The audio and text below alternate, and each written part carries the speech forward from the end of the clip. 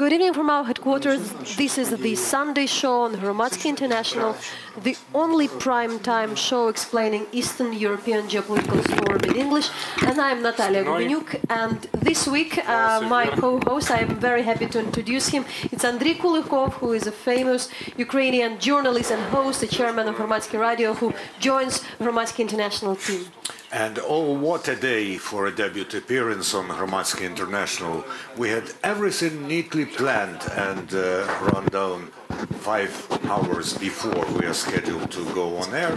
Prime Minister says he's going to resign or at least tender his resignation on Tuesday. А на чому я We had to сідаю? remove На the сюжеті entire на чому show. я сідаю? So what's we're going to have tonight? First, what's behind the tentative resignation of Prime Minister Yatsenyuk? Then, the results of uh, the referendum in the Netherlands. Many Ukrainians are bitterly disappointed, but who's going to rejoice?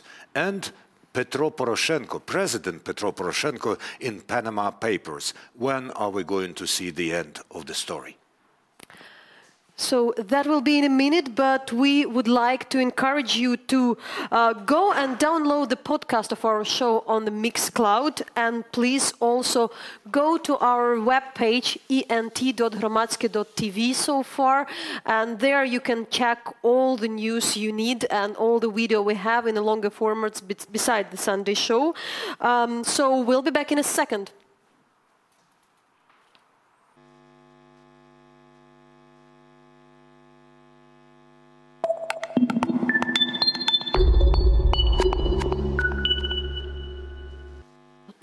And we're back, and uh, this afternoon, Prime Minister Arseny Yatsenyuk announced his decision to resign. Some may say announced his decision to finally resign. Let's see how.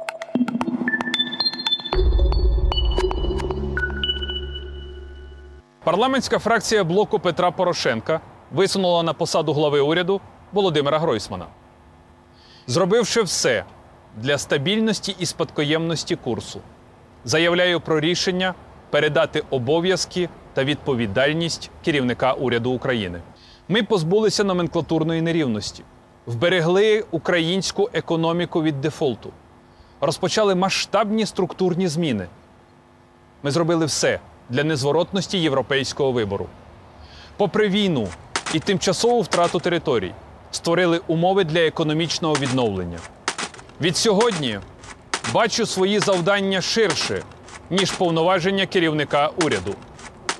Нове виборче законодавство, конституційна реформа, судова реформа, коаліційний контроль за курсом нового уряду, міжнародна підтримка України, членство України в Європейському Союзі і НАТО. Це частина моєї програми.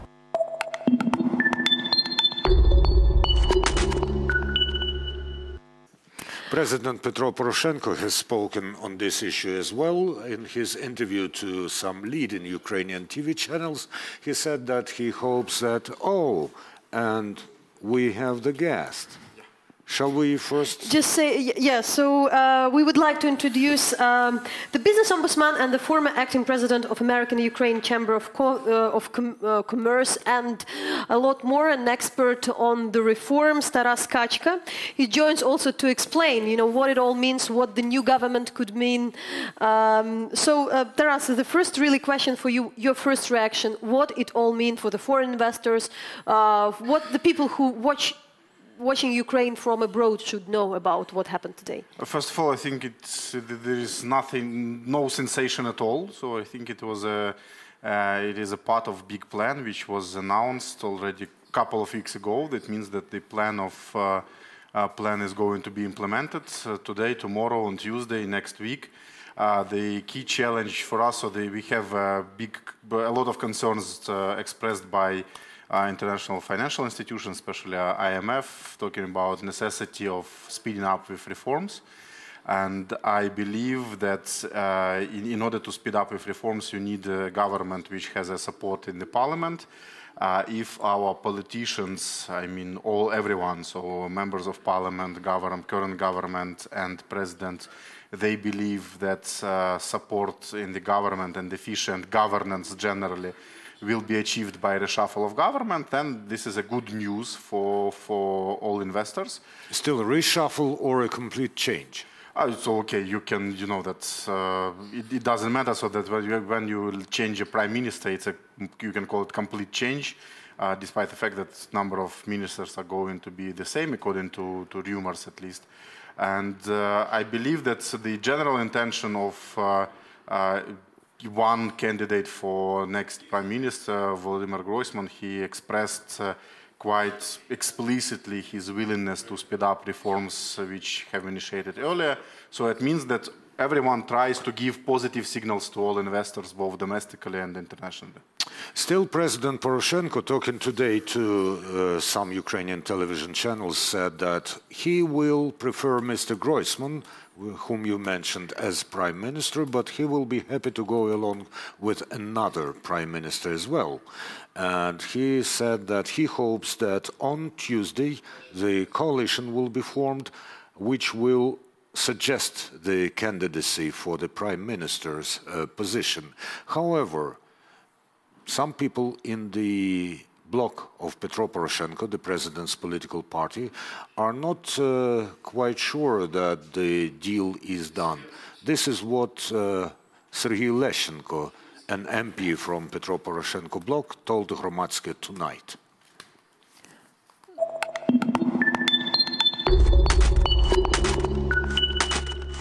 I think there is some agreement found between oligarchs, president, and political parties to establish new government and new coalition. And there are going to be two parties, People's Front and the bloc of Poroshenko. And they collected enough members of two factions to have a majority, and they're going to first to vote uh, uh, resignation of Yatsenyuk and then to appoint Groysman as a prime minister. And unfortunately for me, the bigger part of consensus is oligarchs. They are, they are involved in process. They're going to be beneficiary of this new coalition.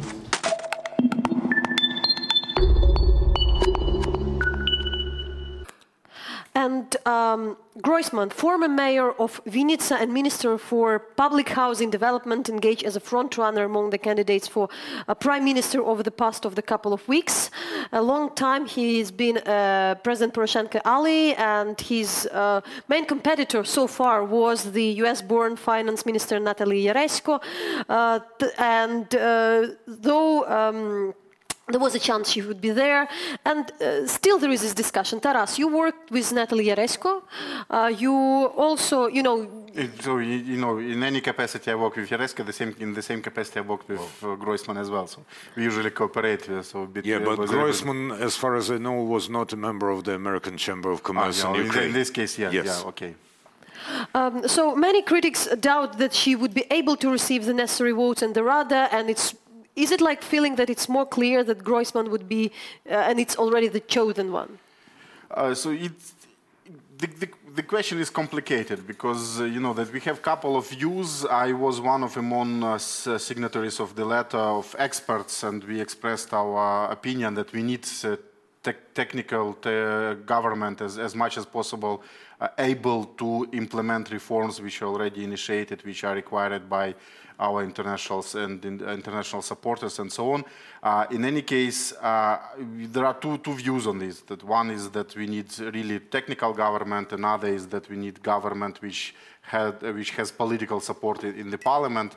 I think that it is good that we have two options, and uh, it's up to, to the parliament to, to choose this to choose the, this option.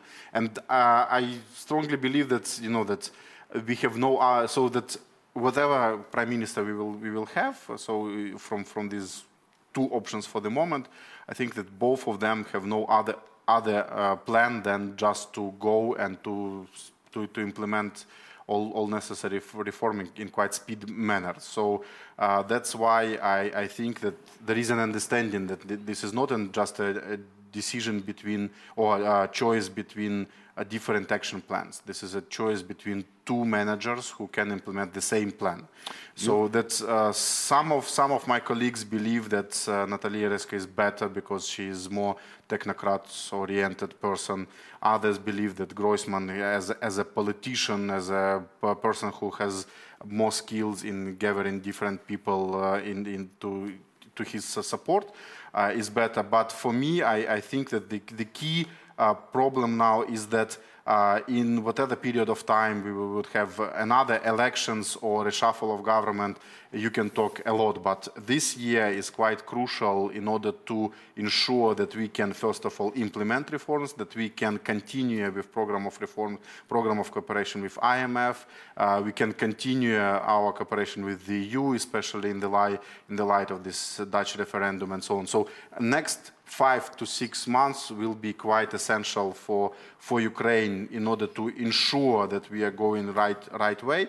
That's why we need capable, capable government. If coalition thinks that it is Groisman who, is, who will be our uh, leading, so our, let's say, key or the most efficient prime minister, then let it be.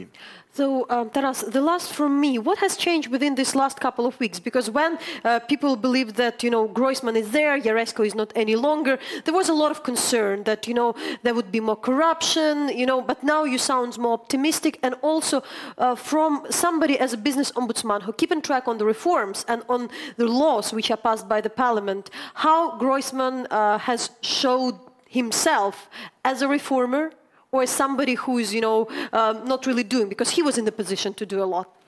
As a yes, speaker of so the uh, let's, Ukrainian let's, parliament. Let's, uh, let's, talk in constructive way. So because I think that we will have a lot of, uh, uh we will hear a lot of criticism to to, to his uh, uh person. But um, as continuing the statement of um, Serhiy Leshchenko, yeah, he, he, is quite critical about the about Groisman and the way how how uh, they uh, work on composition of new government. Uh, I would say that what what is important is that if we will uh, continue his um, uh, uh, thinking, then in order to survive and in order to manage and in order to govern uh, cooperation with IMF, with the EU, domestic reforms and so on, we need someone who can get support from all, all circles, both new civic activists, uh, old oligarchs, and so on, manage them to go together in change, change in Ukraine. If from this perspective, Groisman is good enough. So he, when he was vice prime minister, he was really capable in gathering different people uh, around the table and uh, sit, sit uh, and uh, agree and find an agreement among them and pursue quite quite difficult reforms. And we will see how it will be done in the in the future. As I said, this is quite optimistic point of view. What what can be fruitful from uh, Groisman as, as prime minister, and of course other other opinions also exist. And of course, you know, any government is not ideal one. So that's why we need to uh, just to to assess any further government by its actions and its uh, achievements. Taras Kachka, the business ombudsman of the State Fiscal Service and one of the experts behind uh, one of the Ukrainian plans for reforms on Hromadske International. And I and Natalia Humaniuk will be back in just a few moments.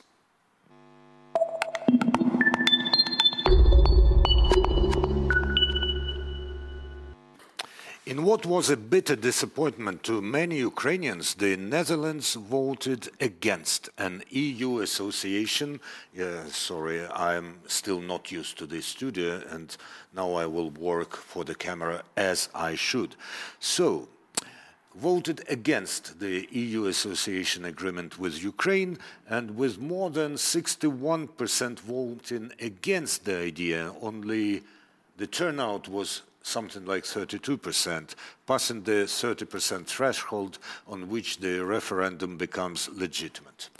Um, we'll discuss more um, what would be the consequences with our correspondent, but we also had prepared report from uh, the Netherlands on the way how this uh, voting had been done and what are the um, ideas about the referendum from the Dutch population.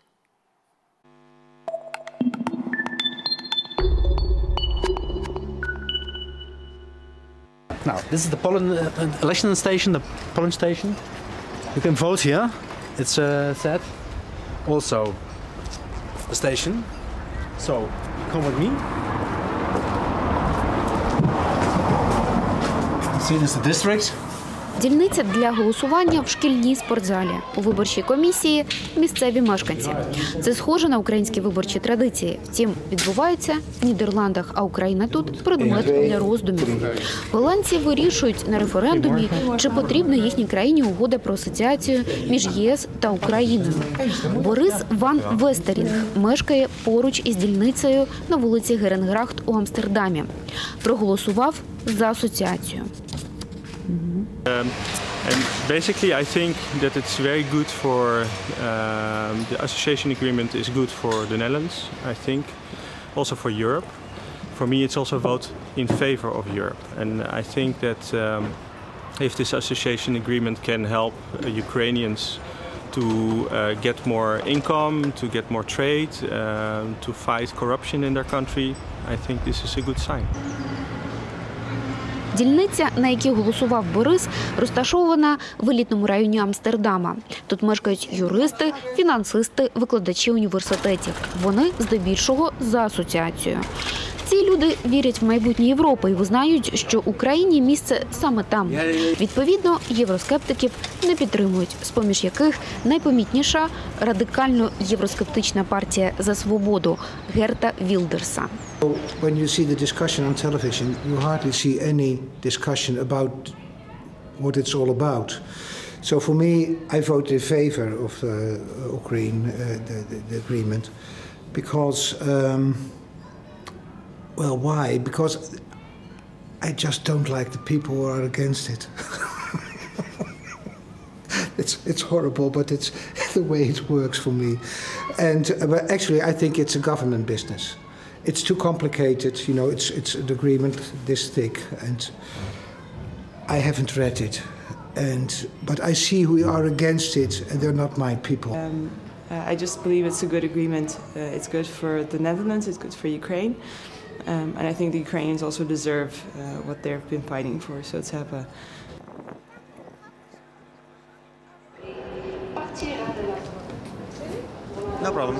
Чекаючи на потяг чи купуючи собі каву, проголосувати за чи проти європейської інтеграції України. Одна з дільниць для голосування в Амстердамі розташована на центральному залізничному вокзалі просто на пероні.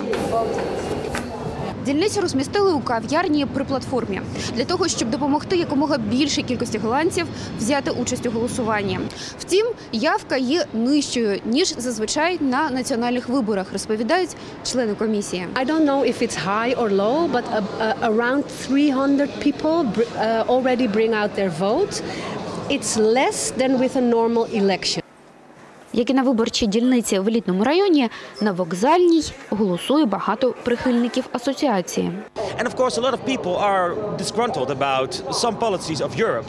But then again, of course, well, I think that uh, it's all part of uh, working together with like, like a large group of countries with different uh, agendas, of course.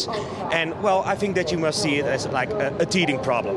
And I think actually that it would be a good thing if, uh, well, of course, Europe uh, together. So also looking at the possible Brexit. And uh, furthermore, of course, uh, having certain countries join Europe, starting, of course, with a trade agreement.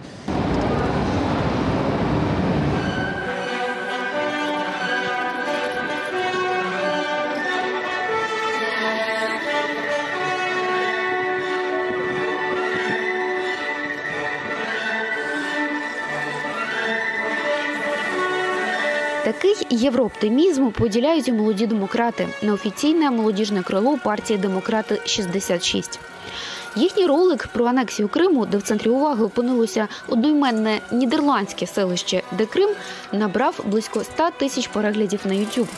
Для відтворення анексії українського Криму молоді політики навіть орендували військову машину.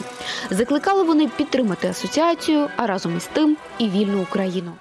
I think that's the most important thing that we have a discussion about this treaty. Now, uh, maybe uh, we get a lot of reactions uh, that are positive, but we also get a lot of uh, negative reactions. But at least the discussion is important. Втім, референдум це більше ніж дискусія. Він матиме юридичні наслідки. Експерти застерігають не піддаватися єврооптимізму, що панує на центральних дільницях Амстердама. У менших містечках і селищах люди налаштовані критичніше щодо асоціації, а багатьох із них це питання взагалі не обходить.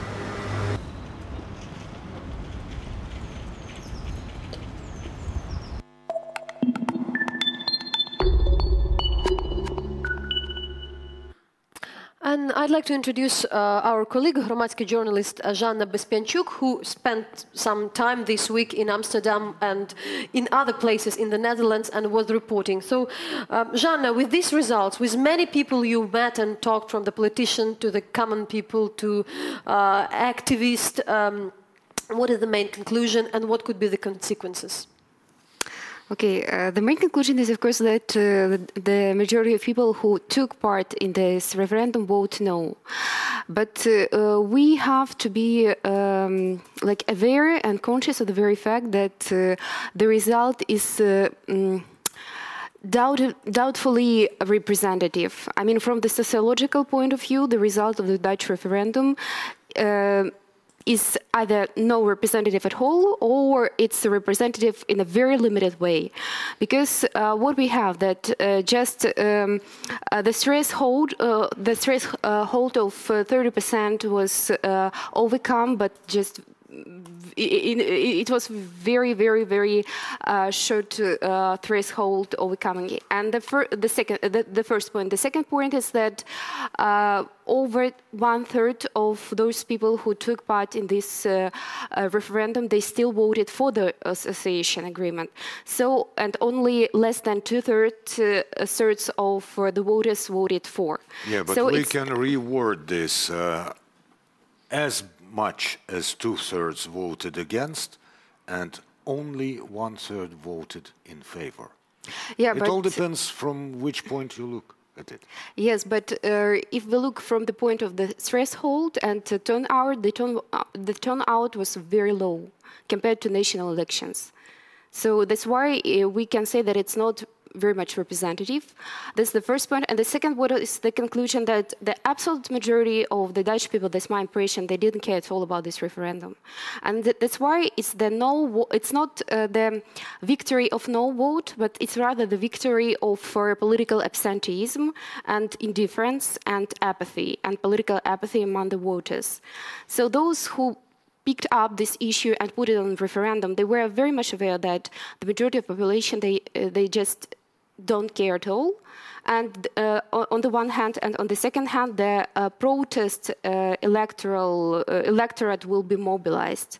So first of all, those people who would use this referendum as a proxy vote on uh, Europe, on EU, they would will come, and the majority of the population won't uh, take part in this referendum. So that's uh, the calculation, and at the end of the day, the EU, Ukraine, and the Dutch government has got many problems.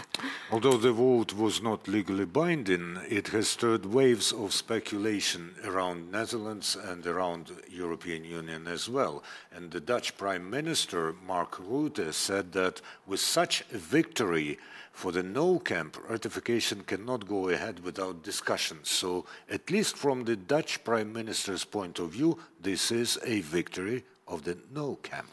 And Zhanna, maybe you would explain because we ask for the uh, Dutch officials also to comment, and they all say uh, we can comment after the 12th of uh, April. Uh, so, what would be next? Well, the 12th of April is the day when the Ukrainian Prime Minister will tender his resignation. That would be one thing, but what will be next? Because this is a precedent for the European law, and in fact, it's very, very. Un- what is the scenario?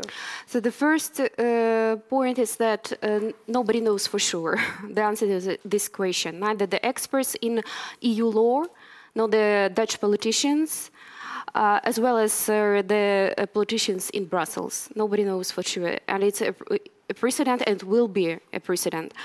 So, uh, the, first of all, my impression is although from the sociological point of view, this referendum is not so much representative, the Dutch government would not, of course, ignore it, and they will reconsider their previous decision. That's obvious. So nobody is going to ignore it, or partly or fully.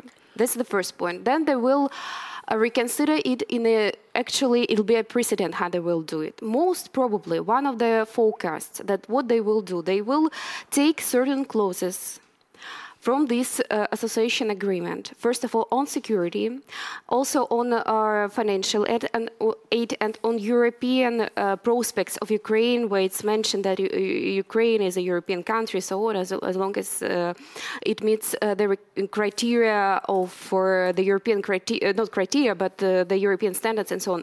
So they will take these clauses that are the most like um, significant for no voters in order to meet their demands and their concerns.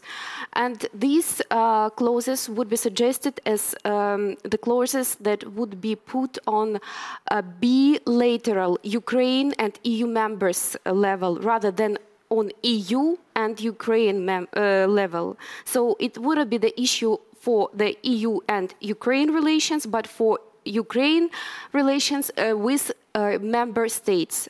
So the the Netherlands will go off the list of signatures of certain clauses of this association agreement. But it doesn't mean that the Dutch government and the Dutch parliament will drop this association agreement uh, straight away. That's not like this. So that's the most the legal consequence.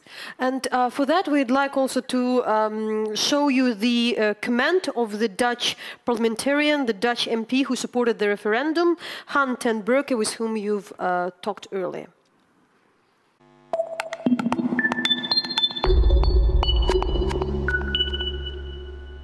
Well, there's certainly a lot of frustration with EU politics at the moment. We have a lot of crises on our hands. Uh, the refugee crisis, for example, that Europe cannot, doesn't seem to solve very, very well. Uh, there's also been the financial crisis since 2008, uh, the euro crisis that we have seen. So there's a lot of crisis in the European Union, and people are fed up with that. I can understand. But this treaty is not about Europe. This treaty is about the external borders of Europe with Ukraine. And this is also about the future of Ukraine, obviously. Uh, it's a, uh, it's a, a treaty that uh, uh, prospers trade. We are a trading nation, so it's very uh, positive for our country. We are the number three investor in Ukraine. And it also brings stability to our outer borders. And that's why I'm in favor of this treaty very much. How would you explain, if it's possible, in a very like simple uh, way, the, the, the, way that it would, it would be more understandable for Ukrainian viewers, what uh, leverage over this, this situation, uh, over the results of the referendum, both possible results, yes or no, does the Dutch parliament have? What's the role of the D uh, Dutch parliament then after the referendum, yeah. when the results are fixed, established, and we know what is the result? Yes okay. No? At this moment, when while I'm talking to you, we don't know the results yet. So the results will be official probably on Friday. Um, if the results will be a 30% turnout, uh, then the threshold, the legal threshold, has been reached. Uh, first, the government has to make up its mind, and then we will be making up our minds. And this is, all, of course, all depending on, uh, on the result itself. And it's very difficult for me to speculate. Russia has been mingling in uh, in East Ukraine. Uh, Russia has been annexing the Crimea, and um, we have uh, made a deal. Uh, it's a treaty. Uh, Ukraine's sovereignty should be respected. Its outer border should be respected. This has all happened, but this is a treaty that will spur um, uh, trade for entrepreneurs first and foremost, and it will give us more stability less of, uh, instead of less stability.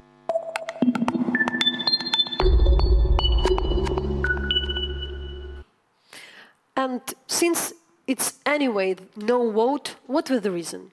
You know, we're speaking about Ukraine, uh, we've covering that Ukraine uh, was um, was kind of pre presented as a corrupt state. There were a lot of things, you know, the way the no vote, no campaigners um, were that's what their argument. But after, if a result, what were the reasons we have we have these results, besides the many people haven't come to the, uh, to the polls.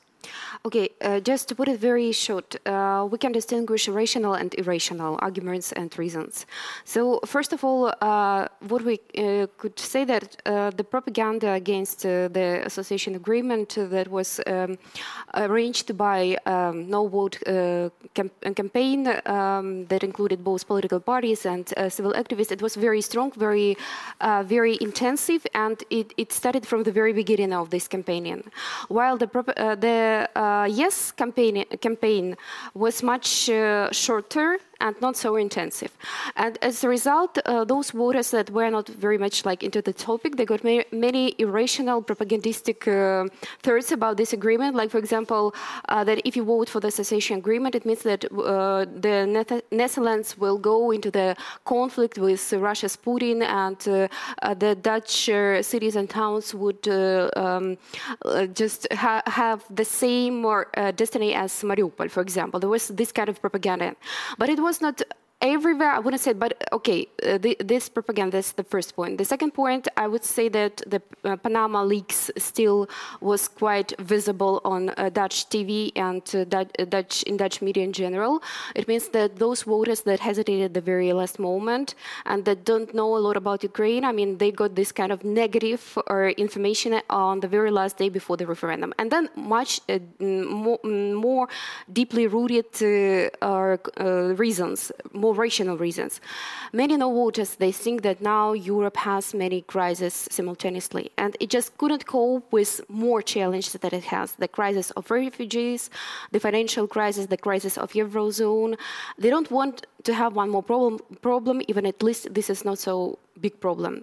The second point is that. Um, uh, they are afraid that uh, the Netherlands will be engaged in paying for Ukraine's bad economy, weak economy, as it happened in the case of uh, uh Greece, although we couldn't compare Greece and Ukraine, Greece and the Eurozone.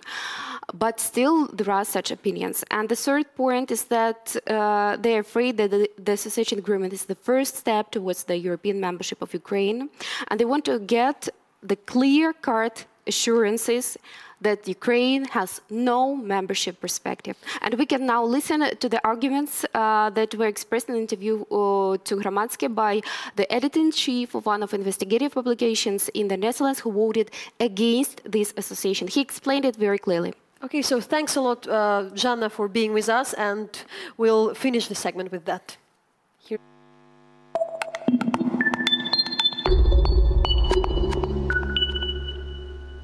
This solidarity, which is, uh, uh, has been vaporized uh, in the course of the last four or five years, need, we, we, need to give to the Ukraine in order to be helping them over the next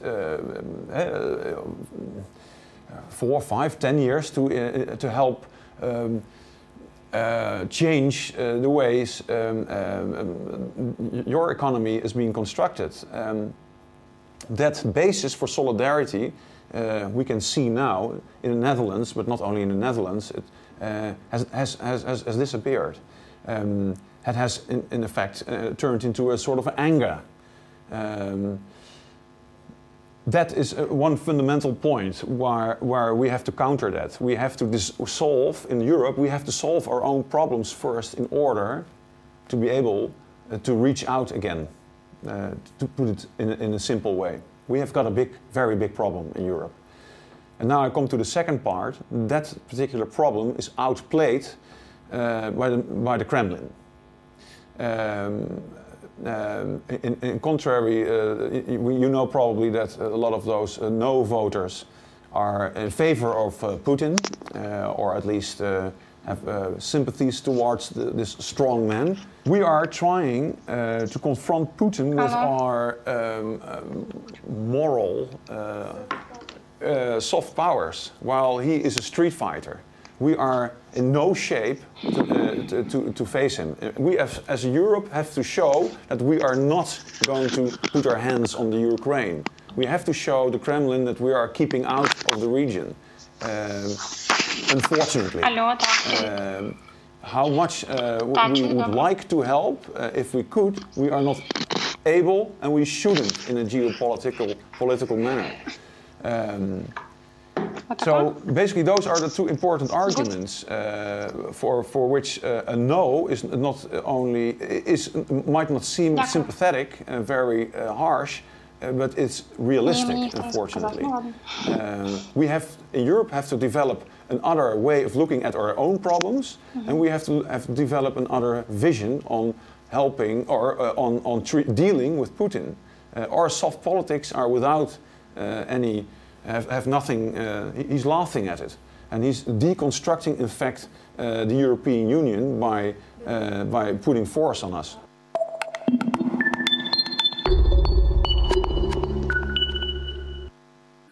It's been a week since journalists around the world began discussion of the so-called offshore scandal or the Panama Papers, and of course, in Ukraine, the biggest attention was drawn to the offshores of President Poroshenko. We now have with us a guest to discuss this aspect of the story, and joining us is Makar Paseniuk. He is Managing Director of Investment Capital Ukraine, or ICU, who legally acts for Mr. Poroshenko's investments.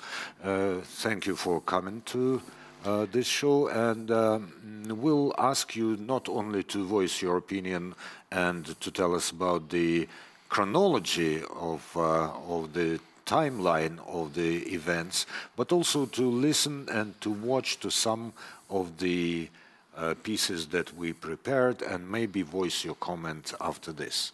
Okay, and um, I also will, uh, before we present the story, uh, there was a lot of discussion on um, with that, but we have Anna Babinets, who is a Hromadske investigative reporter, who is uh, a, an author of this particular investigation on the uh, president um, offshores and the way he was uh, trying to sell his company. So Anna is with us, and Anna, we've been uh, following a lot, a lot of discussion in foreign media, in Ukrainian media. But in the end of the week, what is the development? What you need to add and probably explain what is the main uh, thing about this investigation already a week after it has become a huge topic? Uh, good evening uh, first. And I think the, the most important that Ukraine is uh, only one country which uh, didn't start any uh, official investigation. I think that it's very important because uh, a lot of journalists around the world made very big work, you know, and um, only Ukraine it, this, this is only one country which don't have official investigation. And I think that in every country which uh, head of head of country uh, was in in that list, in every country journalists are celebrating like their um, final of their result of their work. But in Ukraine, it's like like nothing. Anna, uh, are you going to publish anything more on the story, or have you exhausted the material that you have gathered? Uh, we will publish more during April uh, about Ukraine. It, it, will be some continuous of our story of of, pub, of stories which were published, and it will be new stories. And uh, by, well, forgive me for intruding into your plans, but maybe you can tell us whether this is going to be, again, uh, about Roshen, or maybe this will touch upon other businesses of Mr. Poroshenko okay. I can I can't say because it, okay. it, it will not be surprise okay. for, for you, for us, and for Poroshenko. All right, thank you very much, Anna Babinets, one of the authors of Investigation of Slidstvo Info, which is a structural unit of Hromadske television, and we now have with us Mr. Makar Paseniuk, who's managing director of Investment Capital Ukraine. Anna Babinets said that. Good evening, Andrei. Yeah, Anna Babinets said that uh, Ukraine uh, seems to be the only country which has not launched an official investigation into allegations mm -hmm. of uh, fraud and embezzlement. Mm -hmm. um, how do you assess this? Why this is so? Is it the president's clout, or is well? Uh, in my opinion, there is nothing to investigate. Uh, uh, if we go uh, a little bit back to the history of uh, of the investigation itself, or at least uh, at least you know the part that we were uh, aware of. Um, um, our response from um, day one was uh, very transparent, and uh, it was confirmed by Anna's colleague, who said that um, even uh, he went to say as far as that the naive representatives of ICU provided uh, not only uh, the name of uh, the company that the inquiry was made, but also provided the names of two other um, um, legal entities which they were not asking about. So as far as uh, um, uh, the story goes, uh, in my opinion, there is nothing to investigate. Although you know, I'm not uh, the general prosecutor or whoever is uh, supposed to be uh, launching investigations into cases like that. I'll explain why. Um, what was published in our statement or in our response to um, to Anna and subsequently is that the companies were created for the purpose of uh, transferring president's uh, stake uh, into a blind trust, something that uh, has been um, uh, in discussions for uh, quite some time and was announced by him in January. subsequently, last week, after the last time we met, um, Rothschild Trust uh, uh, officials have confirmed uh, to a Reuters inquiry that the trust agreement was signed on January 14th. as far as the companies go, um, those companies um, from the day of inception um, were independently managed had no bank accounts and did not have any um, uh, operating activities. So uh, there is not much to investigate, in my opinion, but uh, you know, I'm, I'm not the one making the decisions. Uh, uh, am I right in understanding that Investment Capital Ukraine acts for Mr. Poroshenko's interests in the case of Roshen Company? Or yes, so we, you... uh, we are jointly mandated with uh, um, Rothschild Investment Bank uh, to uh, sell um, his share in the company. the mandate was given to us um, in 2014 and subsequently uh, uh, was amended uh, to include the transfer of the of his stake into a trust. What about Ukr? Agroprom, Ukrprom Invest Agro, Leninska Kuznia, and other businesses owned by or were controlled by Mr. Poroshenko. You're not dealing with them. No. Thank you. Um, and um, one of the part of the investigation um, it's, uh, you know, you claim that um, you know, there is this blind trust, but with speaking with many journalists, with lawyers, with everybody, we know that it is possible to sell a company without using any offshore. There is an opportunity in Ukraine because, I mean, you don't need mm -hmm. to do that. Mm -hmm. uh, so, uh, in principle, the offshores is an idea that, uh, you know, somebody can live uh, with a different, um, according to the different uh, legal system. Mm -hmm. um, so maybe if it's officially illegal, it's still a big political decision of mm -hmm. anybody who is running the country. So, what would be a comment on that before we also uh, listen to the different ideas of uh, other well, experts on that? Uh, absolutely. There are two different concepts selling the company and transferring into a trust.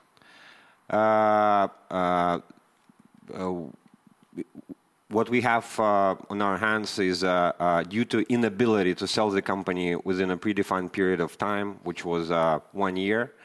Uh, in our mandate, uh, the decision was made to transfer that into a trust and then continue uh, working on the sale of the company. I guess it answers your question. Uh, but uh, we'll bring to the uh, topic uh, the, our interview with Oliver Bullough, who is a well-known British journalist uh, who is exposing corruption in Russia, Ukraine, especially dealing with offshore tax havens, and that's what he said to us in regards of the whole Panama Papers and the case of the President Poroshenko. Absolutely.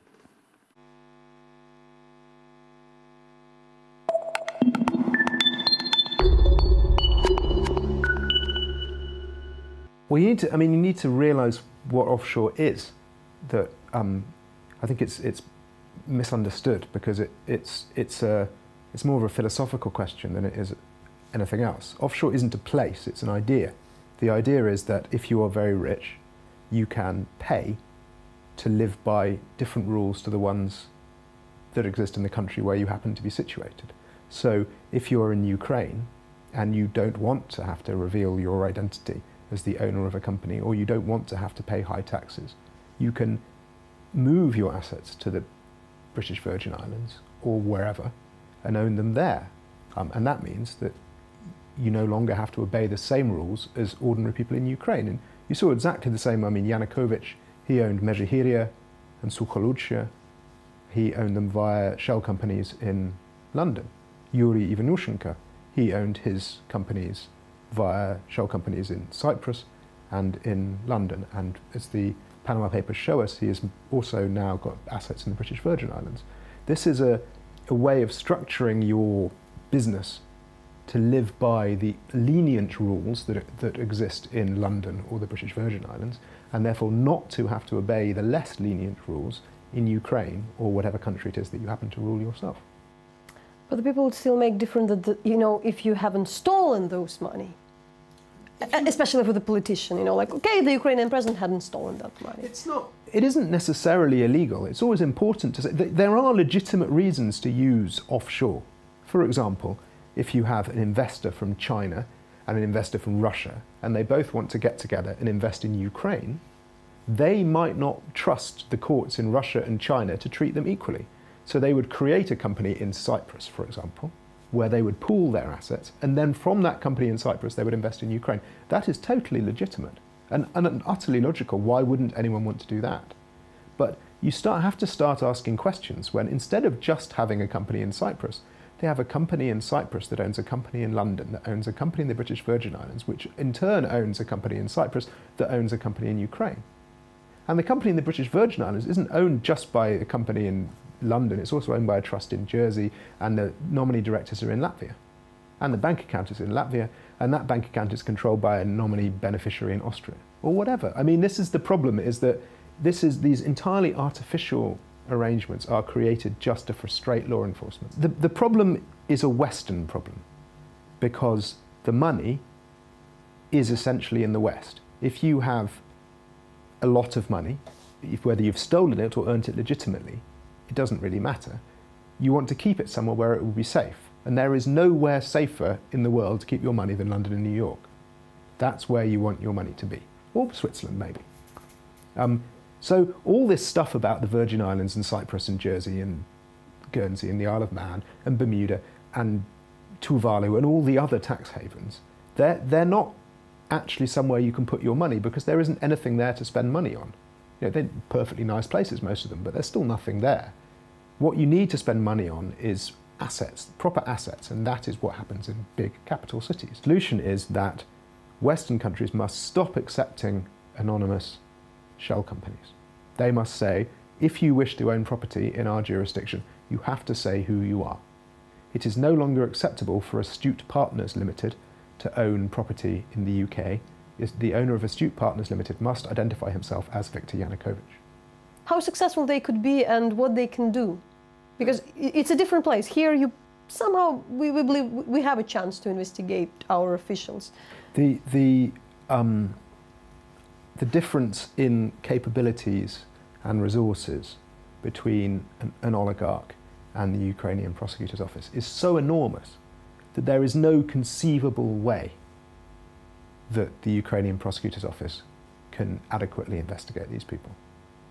It would be difficult for the FBI to investigate really to the bottom what some of these people are up to, let alone the investigators from the Ukrainian prosecutor's office. Um, essentially the system is so rigged against the good guys that it's impossible for them to win. It is an, a system that is entirely created and has been created deliberately for certainly since the 1950s, deliberately been created to allow rich people to get away with things that are denied to poor people. And if that is something that as, as a world we say we want to stop happening, then we need to change the entire system. And it's not enough to say to the Ukrainian prosecutors, there you go, go out there and find some oligarchs. Because even if they find the bank account in Monaco or wherever where an oligarch kept money, by the time they get there, the money won't be there anymore. Can we estimate an approximate amount of the money which are, you know, the countries in general, the world, the people are um, losing because the big guys and the rich are using of tax havens? People have tried. I mean, I often often a, a figure used is 10% of the world economy.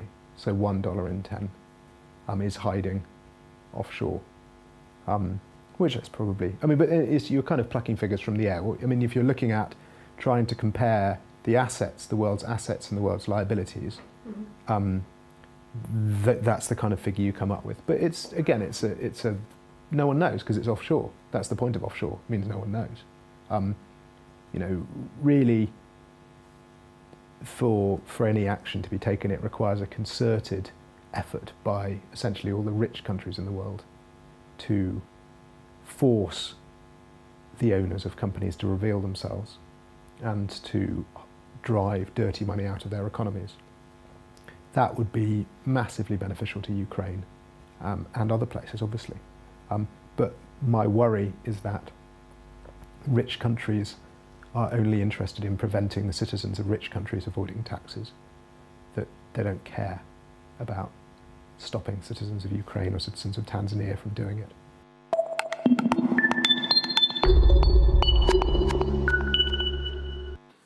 And while we were watching Natalia Humeniuk's uh, interview with Oliver Bullough, a uh, British investigative journalist, Makar Paseniuk, who is a managing director of Investment Capital Ukraine, took several notes.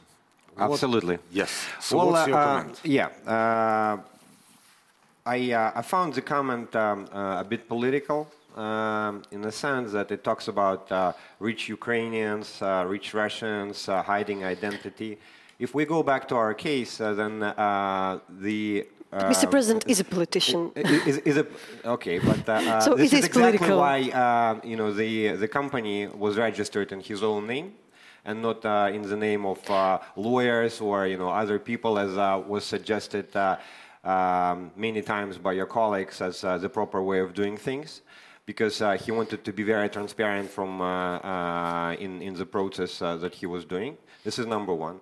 Number two, um, I think that as the world is changing and um, uh, there are multilateral agreements on uh, exchange of information, uh, the and, and, and, BVI is a party to these agreements. hiding, hiding um, uh, profits uh, offshore is um, uh, is not really what is um, you know the purpose of that. if we're talking about tax evasion, and you know, I think this is what the gentleman was referring to, then.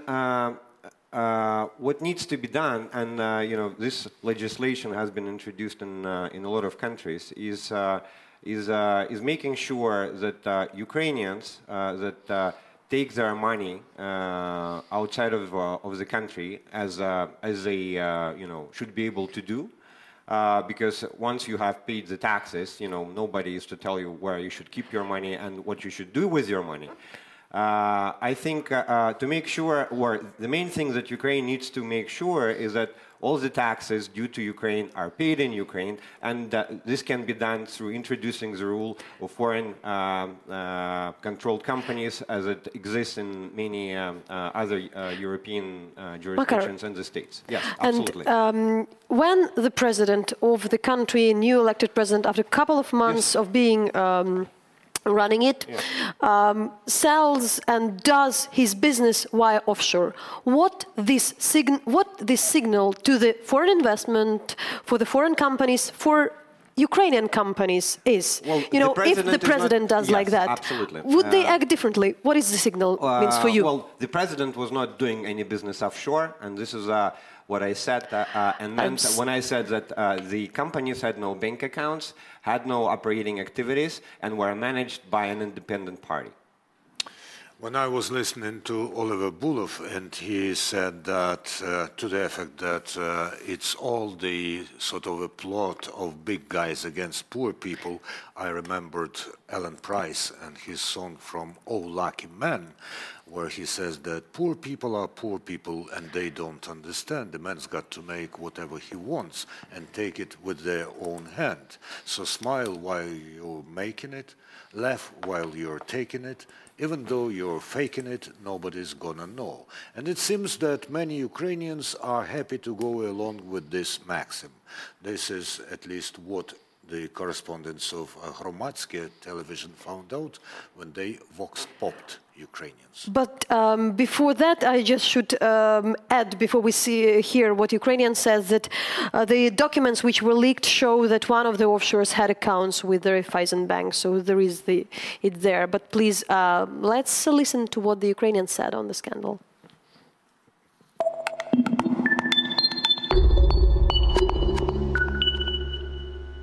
Скажите, пожалуйста, знаете ли вы что-то про офшоры Порошенко? Ой, да, что-то мне парень рассказывал, что он козел. ну, Порошенко, в смысле. ну, типа, да, что во время Иловайского котла, этого всего ужасного, что он э, по-тихому деньги все скинул в Панаму там или куда-то. Ну, э, чуваки, у нас такой президент, уже пора было с этим при, привыкнуть. У нас такая власть, я ничему не удивлена абсолютно, правда. Офшоры Порошенко? Нет, не слышала. И вы тоже? И в новостях даже ничего такого не проходило? Ребята, не все так просто, как она кажется. А как? Можете в финансовом объяснить? мире. А вы финансист? Ну, где-то так примерно. Ага. Он просто профнепригодный политик, вот и все.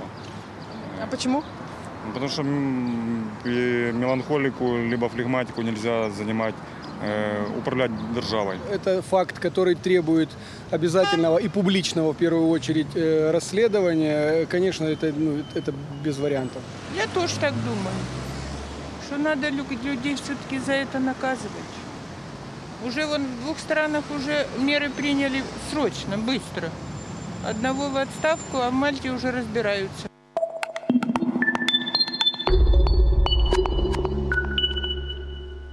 So this is what uh, Ukrainians on the streets think about the matter. And although Makar Pasenyuk is in our studio, we give him an option to be part of our Vox Pop. What's your opinion? What's your take on all this story? Not as a lawyer. I'm not a lawyer. I'm um, uh, an investment banker. Oh. Uh, As an investment banker. yeah, uh, absolutely. Well, uh, before I go into my uh, uh, my personal opinion, uh, I would like to make a small correction. We've made, Natalia, you said that uh, one of the uh, companies had a bank account. We've made uh, several statements which uh, say that no bank accounts exist for those companies uh, that were investigated by your colleague Anna. I continue to insist on that, so for factual correctness, the companies had no bank accounts. This is the first one. Yeah, going back into my personal opinion, I think that uh, Ukraine is a free country, and uh, uh, uh I think that uh, as long as uh, Ukrainians pay their taxes in Ukraine and the country benefits from all the entrepreneurial activity and from the all entrepreneurial talent of people that live in this country, the people should be free to do whatever they want with their money. And uh, it uh, goes as far as buying property in London, buying property in France, in the United States, uh, or buying shares of Apple, uh, Microsoft, uh, or uh, even BVI companies. The only thing that Ukraine should care about and make sure is done is that Ukrainians pay their share of taxes in Ukraine uh, for the profits that are made in Ukraine. And um, uh, as long as they are tax residents, uh, you know, they should obey that. Makar Paseniuk, an investment banker from uh, Ukraine capital Ukraine. ICU, investment ICU, capital Ukraine, yeah, yes. Investment capital Ukraine. And uh, I was going to say, let's agree to disagree because Ukraine is a free country, but I tend to agree with Mr. Paseniuk when he, has, uh, when he says that Ukrainians are free to do with their money whatever they want. My only addition to this is if they have this money. which is not uh, the case with many, many Ukrainians. So um, now we are wrapping up. Thanks for everybody for being with us, and uh, thanks for Andre for joining. And see you more often in this studio. I'll also remind you that in order to read the investigation and the more others, go to our webpage int.hromadske.tv if you want to have more details uh, with all this data you you have, with all these documents. Um, there is something you can investigate. It's all very complex stories, so we try to keep them, um, you know, simpler. I will also say goodbye uh, for you uh, at this stage, and uh, to the end, we also uh, present you a piece of the a short part of the investigation of the other investigation of the our investigative team uh, within the Panama Papers.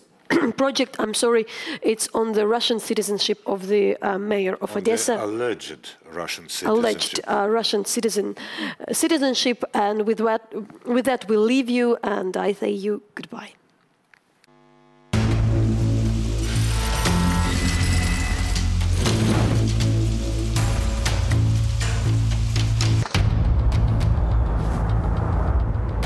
Це найвища будівля в Одесі. Хмарочоси престижного житлового комплексу Арк Палас затуляють півнеба. Їх звела бізнес-група Рост, яку регулярно пов'язують з мером Одеси Геннадієм Трухановим. Ім'я Геннадія Труханова неодноразово спливає в документах та листуванні панамського реєстратора офшорів Mossack Fonseca. Фірми з британських Віргінських островів, де міський голова виступає засновником, контролюють чимало бізнесів в Україні. Земельні ділянки, будівництво офісів та житла, ремонт доріг за гроші бюджету ось сфера інтересів нинішнього керманича Одеси. Хоча в його декларації в розділі володіння бізнесом вже багато років стоїть прочерк. Ось в цьому найдорожчому в Одесі житлово-офісному комплексі частина площ належить підприємству Винні традиції. Воно, в свою чергу, має власника віргінську компанію. Ось повідомлення для юристів, що засновниками цієї віргінської компанії є Андрій Іванчо та мер Одеси Геннадій Труханов. Віргінська компанія називається Macon Assets Limited, а її співвласник Андрій Іванчо давній друг Геннадія Труханова. В 90-х вони разом заснували охоронну фірму Капітан. Іванчо був помічником в майбутнього одеського мера ще коли той був народним депутатом. А сьогодні разом з донькою Труханова Катериною Андрій Іванчо керує фірмою Скво, яка зводила цей комплекс і продає в ньому житлові та офісні площі. Добрий день. Громадське телебачення. Скажіть, будь ласка, компанія Скво. Це тут у вас? Нет, это в другом здании. А где именно? Сейчас охрана вам придет. Сквон она. Скво. Здравствуйте. Громадське телебачення. Скво. Фирма Скво. Я понимаю. А вы с кем-то договаривались или что? Хотим обратиться за комментарий.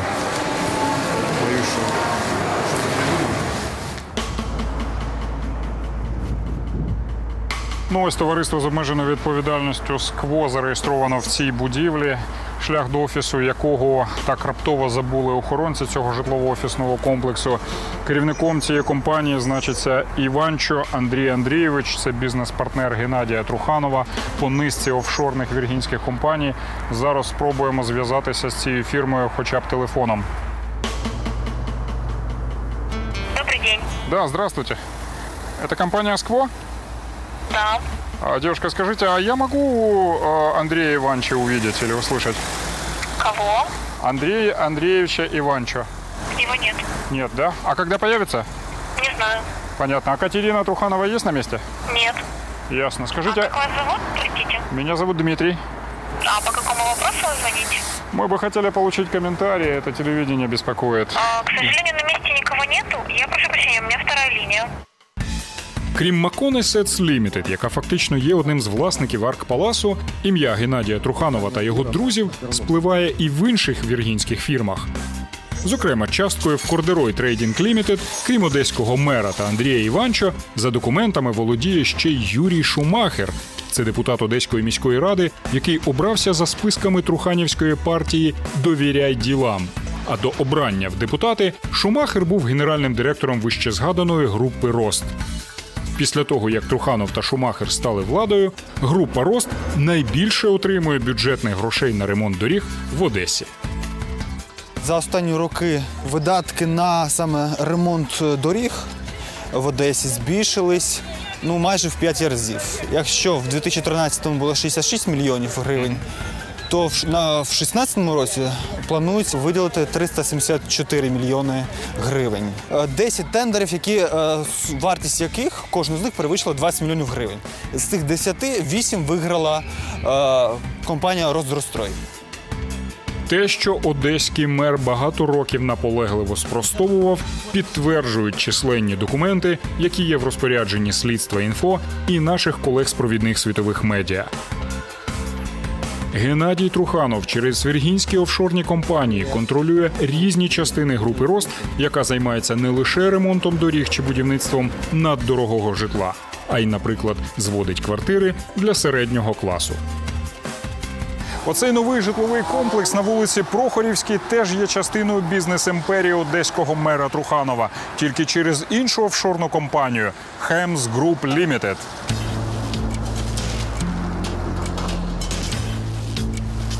Страхування, будівництво заміських котеджів, юридичні послуги. Ми нарахували понад 20 підприємств, пов'язаних з одеським мером та його найближчим оточенням через віргінські офшори. Та найцікавіше, що в усіх реєстраційних документах Геннадій Труханов зазначений не як громадянин України. Він має іншу реєстрацію російську. Московська область, місто Сергіїв Посад, вулиця Паркова, 5. Наші російські колеги відвідали це місце в Підмосков'ї. Але будинок, очевидно, використовувався просто для отримання адреси реєстрації. Чутки про російське громадянство одеського мера ходили і раніше. Два роки тому народний депутат Володимир Ар'єв на своїй сторінці у Фейсбук виклав копії документів з Федеральної міграційної служби Росії, де йшлося про те, що мер Одеси має два російські паспорти: один з реєстрацією в Дагестані, інший в Сергієвому посаді. Причому останній російський паспорт Труханов нещодавно отримав повторно в зв'язку з досягненням 45-річного віку.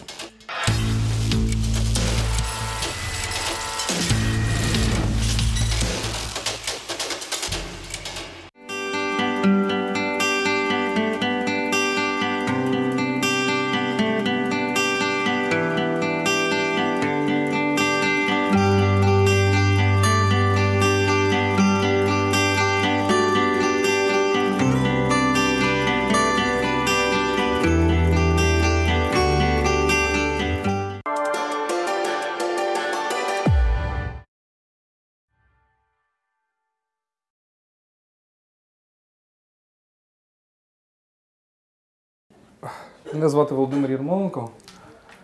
Я намагаюся займатися трішки філософією, трішки історією літератури, трішки історією ідей. І з вами я хотів би поговорити сьогодні про історію кохання. Я думаю, що ви, власне, можливо, на це і приходили. Про те, як кохання змінюється в історії, передусім за останні два століття. Я намагаюся, в принципі, як філософ, думати над тим, е, якою є динаміка тих чи інших речей таких як е, як кохання, таких як щастя, наприклад, таких як е, ставлення до власного життя, до індивідуального життя і так далі.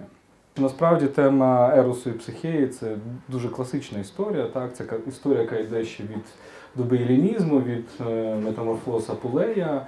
Це це відома насправді фабула, і є ціла іконографія цієї історії. Можна говорити, якщо говорити про європейський живопис, є іконографія Рафаеля, є іконографія Джуліо Романо, є іконографія того самого Антоніо Канови, але чомусь так збіглося, що саме ця скульптура. Але що мене вражає в цій скульптурі,